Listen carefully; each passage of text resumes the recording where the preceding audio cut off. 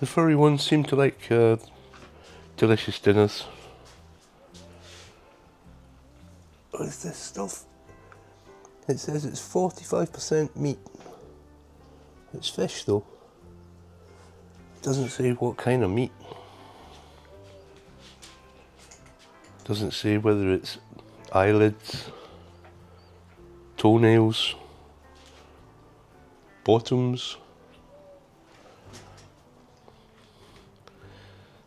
But they like it. Go on, Ginger, dig in. You need to get big.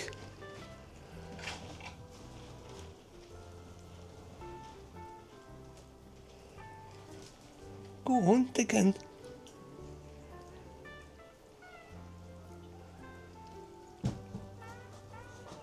Good girl, Ginger. Look at the size of her. This is her brother, Fred. A little grey and white one.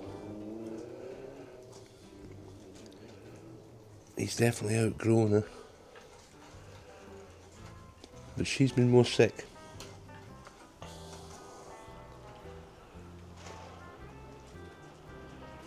Good boy, Rango. I like to see you eating biscuits, boy. Stray Cat Trev. Emo.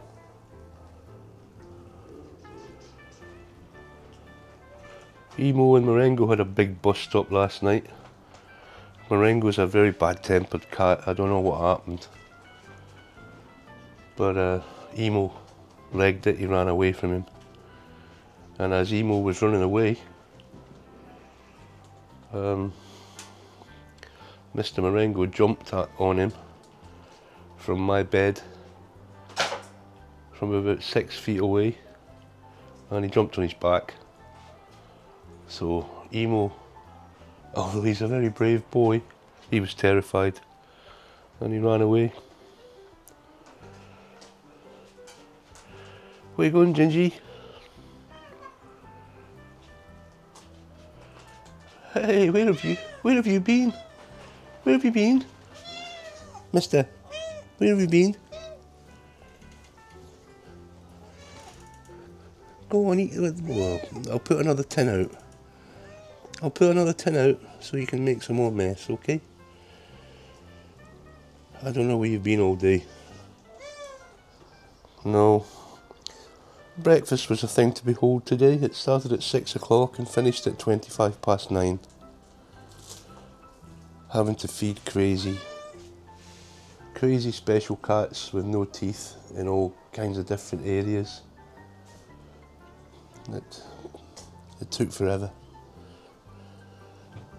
Tina's busiest day of the year today, apparently. She's off doing a Christmas market, something like that. She's actually running the market. Um, I was supposed to go, but I fell asleep. So uh, I didn't make it. Apparently, Santa Claus is turning up. Anyway, I need to hold the fort today. I've been holding the fort for many days. It seems that I'm always holding the fort these days. Yes, boy. Yes, boy. So, I'm gonna go. See ya. Bye.